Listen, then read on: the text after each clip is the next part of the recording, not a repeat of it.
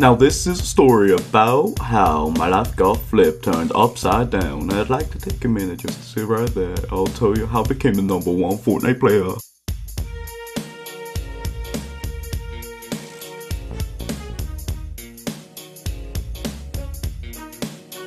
In West Loot Lake, born and raised. In Pleasant Park is where I spend most of my days, chilling out maxing, relaxing all cool, and playing some football outside by the Loot Llama. When a squad of some guys who were up to no good started making trouble in my Fortnite server, I got in one little one before my duo partner got scared and said, We'll be rushing center zone and camping out in one by ones. I landed on the hill and when the zone came near, the final guy started firing and threw in a nade. If anything I could say, this view was rare, but I thought, nah, forget it, yo, let's rush them.